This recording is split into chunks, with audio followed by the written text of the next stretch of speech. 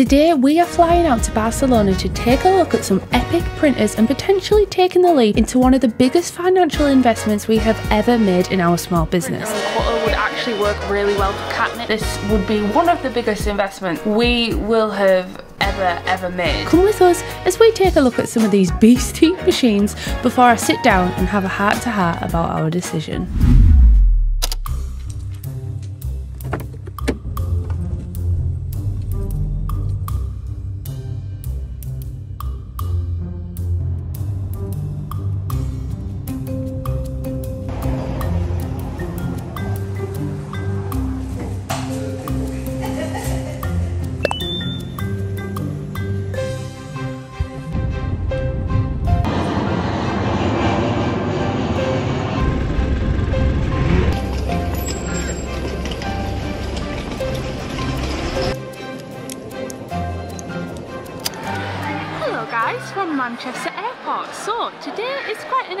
Start to kind of a studio vlog.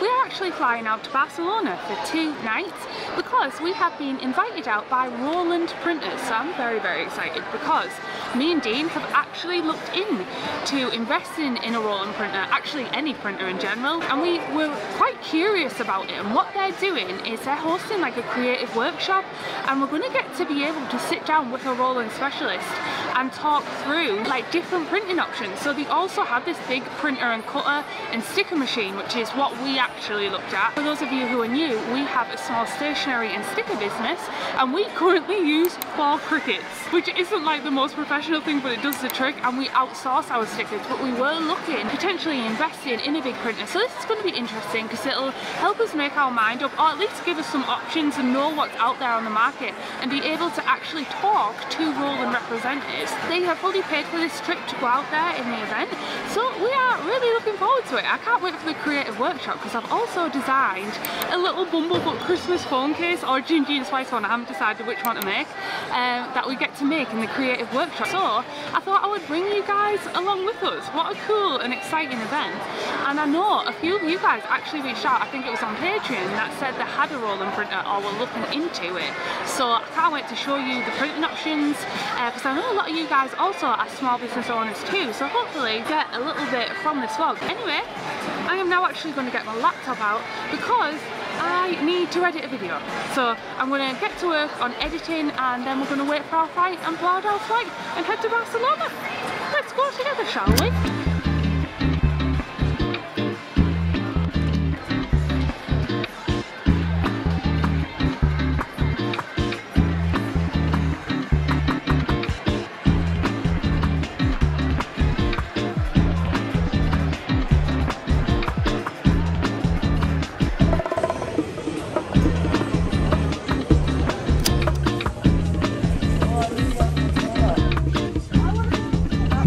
Yeah.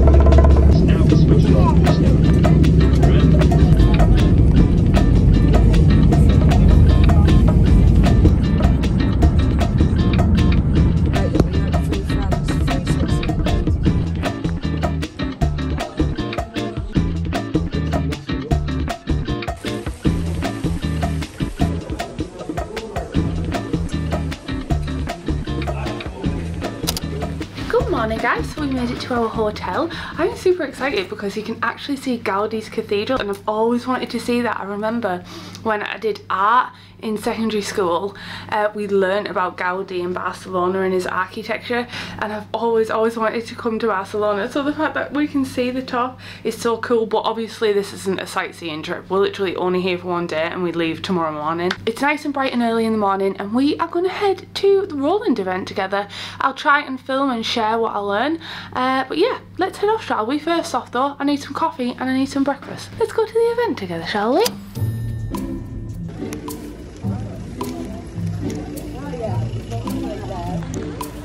This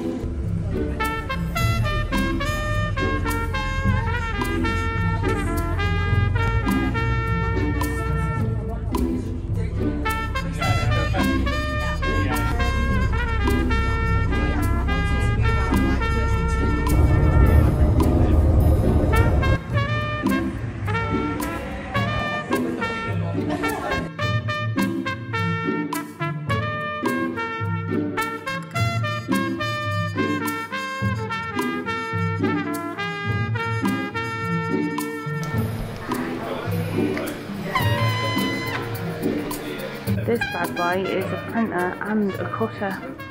Look at this. And also it's got like gloss and stuff on it. Like embossing. Wow. Makes you want it really bad. Yeah. Oh, I want one for Katnipp so bad. This literally could make some epic stickers. Dean's just found a machine over here who really likes printer and cutter for stickers. Die cut, perforate, Oh, varnish, and varnish. emboss on a single device under. Wow. So it does like stickers like this, look. This is so cool. So it can do like foil. It gives you so many options, doesn't it? Better size as well, isn't it? Yeah, that one over there is Look at that. So you can actually emboss and everything and foil, personalisation. That's so cool. Looks like Epcot. The Epcot ball. This over there is what I've actually looked into for Katnipp. This is the first level of printer that we have. is an eco solvent. Maybe some of you know. You can create this a print and cut, and you can create a sticker, a small poster. When I was doing my research on upgrading from my desktop printer and Cricut cutters, the Versa Studio BN20 series is the line of printers I did the most research over. It seemed like it was a leap from hobby machines into more professional but entry grade printer and cutter systems. I did want an all-in-one printer and cutter because I don't have loads and loads of space and I wanted to streamline my setup. I think if I was going to invest in this back in 2019 it would have been perfect for my business then. However, after seeing it in action, I actually think Katnipp may be a little bit more advanced for this beast of a machine because of the quantity of stickers we need to print at any given time if we were to bring it back in-house. Not only that, but I also want a machine that can do many more different things such as greeting cards, so speed is pretty important and I felt like this is where the BN20 had its downsides. However, I feel like this would have been a brilliant investment when I only needed to make smaller runs of different stickers and products. It's given me so much idea. I want it all. You can make your own packaging and stickers on this one. So I actually think me and Dean have been talking. This printer and cutter would actually work really well for Katnipp because we have been wanting to find a way to invest and start building things more in our studio because we've outsourced at the minute and this one is perfect because the other desktop ones are great for entry level. I'll talk a little bit more later on when we're not in Roland, uh, my thoughts through investing in the Katnipp and stuff, but I think the desktop ones are going to be too slow for us at Katnipp, but this one, falling in love with it. The options, my mind is like filled with ideas and things that we can actually do. So excited this has been the best ever. I'm such a nerd like about printers, but how exciting. This is the TrueVIS MG, the printer that seemed the perfect middle ground for what we needed. Available in 64 inch the VG640 and 54 inch the VG540. An all-in-one UV printer and cutter. You can print all sorts of things with this baby, which has my mind whirling with ideas from decals, labels, banners, and even vehicle graphics. Because it's a UV printer, the prints are hard wearing and water resistant, which means my vinyl stickers could be as well. It has a huge 7 ink colour tank and one colour you can switch out to either print gloss or print a layer which allows you to foil. The downside though, the price tag coming in at a hefty £15,000. Oh my goodness, more on that in a little bit. Oh, it's Bumblebot! Oh my gosh! How exciting look there he is. This beast right here is one of Roland's super large UV table printers which can print on so many different substrates. This is completely out of our budget but it was super cool to see it in action as we printed the Bumblebot phone case I actually mentioned I designed earlier on. We just had Bumblebot printed on a phone case but we're just waiting for another one because it's transparent and this one's a slightly smaller phone case but how cute would this be in Katnipp? I love it. Dean's having a look at all the printed products over there. I'm Catherine Kay, owner and director of Katnipp Studios, a small family-run business who specialises in cute, kawaii products and merchandise.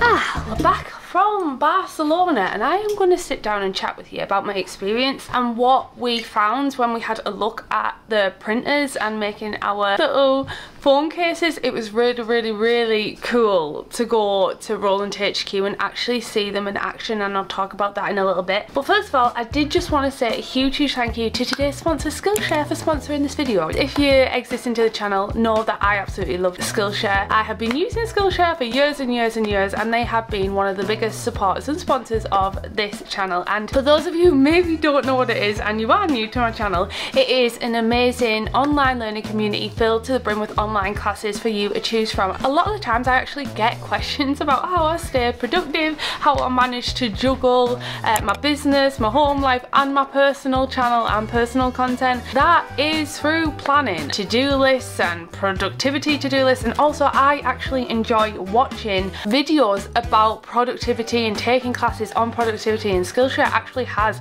a whole bunch of different productivity classes. In fact, I mentioned earlier in the video that I was planning my Notion to-do list for the weekend in Barcelona. Now, I'm by no means a great teacher, so it's pretty lucky that Skillshare has so many classes on the subject, including this Notion masterclass by one of my personal favourite content creators, Ali Abdaal. But they also do different classes as well, like art and illustration and small business classes, and I've also took classes on like filmmaking, how to make my vlogs better for my personal channel. The first 500 people to click in my link in the description will get a free trial of Skillshare membership, but if you are actually watching this in real time, they are doing a special November deal where you can get 30 days free and 50% off your first whole year of Skillshare membership. I hope you guys like it. Now let's get into my thoughts and feelings about when I came to Roland. Don't think their goal was actually to sell us a printer, although I could be wrong. I think it was more like a social media event, which was very, very fun to attend. However, it had my mind whirling as a small business owner and something, like I mentioned, I have been looking into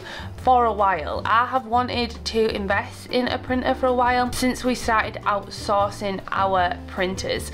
But if I'm being honest, it's been so overwhelming looking at the choices of big printers and it's hard to get any information on them honestly. A lot of the places that I go to to learn about new printers and reviews and technology is like YouTube or Skillshare or wherever I can online, just online reviews in general and I do find these bigger machines, these more heftier machines, there is very limited information on them online in general so I found it really overwhelming when I was looking into it. There is quite a lot of reviews about the BN20s and the Versa Studio, which I mentioned earlier in the vlog, but there isn't many on these like kind of mid-range ones. And I want to talk about why I would like to invest in this in my business. So back in 2020, we started seeing a big influx in order orders for our like planner stickers and everything, and we just simply couldn't keep up cutting them on the Cricut. Our Cricuts were always constantly running and giving me a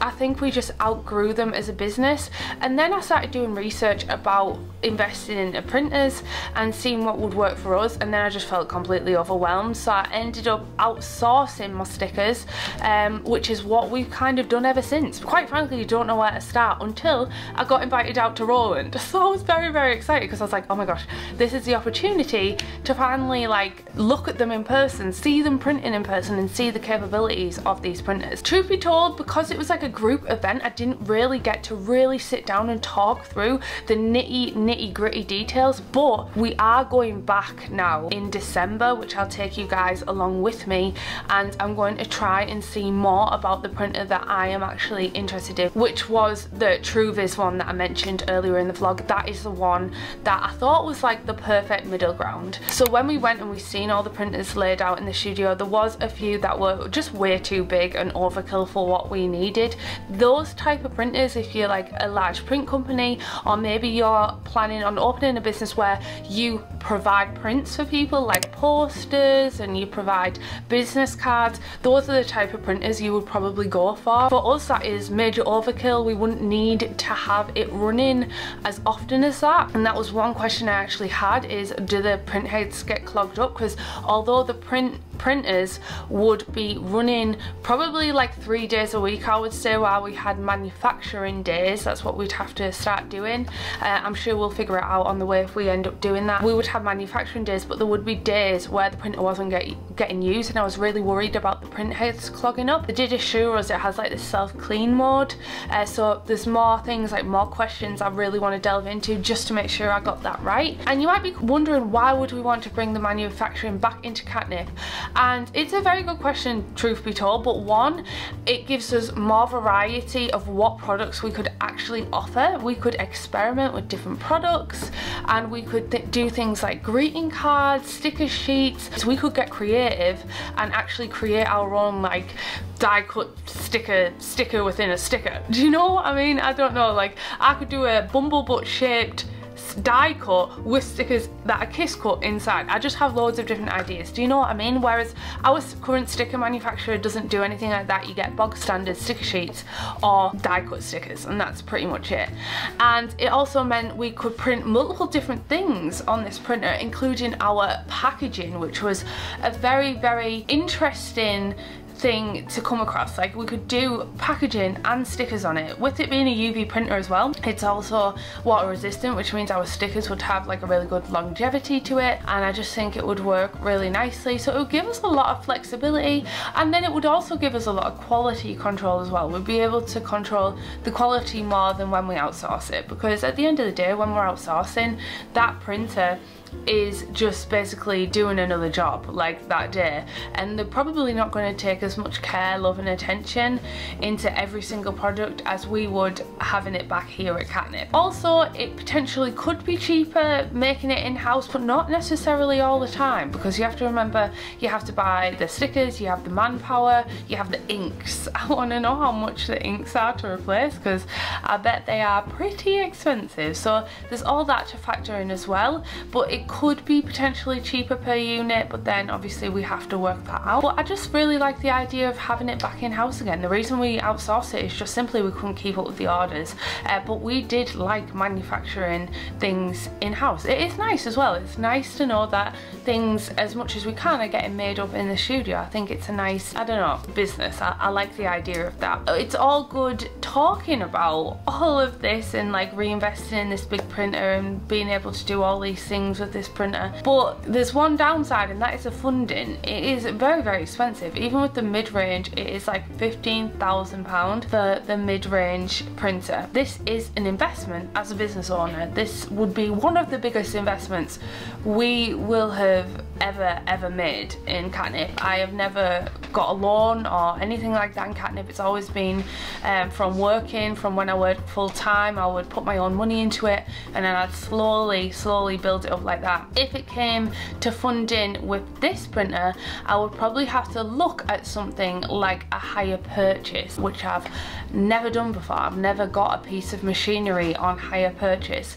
but I know it's quite standard to do in businesses and we're at that kind of weird growth level where we're we're still like a handmade craft business but then we want to get into the next level but the next level means spending more money and doing more risky things in business like this. So we have a lot a lot to think about when it comes to this printer and I would actually love to know you guys if you have invested in a large wide format printer if you like it what your experience is with it. I love the fact that this is a printer and cutter all in one system because one thing I did look at before when I was looking at printers and cutters was getting a wide format printer and then getting a separate vinyl cutter. Personally didn't like the idea of having two separate machines. I like the idea of having an all-in-one we'll learn about that on the journey journey on the way. I don't have all the answers right now, but I'm sure as I do when I document these things, I document it on this channel. One thing I don't want to do is I don't want to rush into this decision because this is a big decision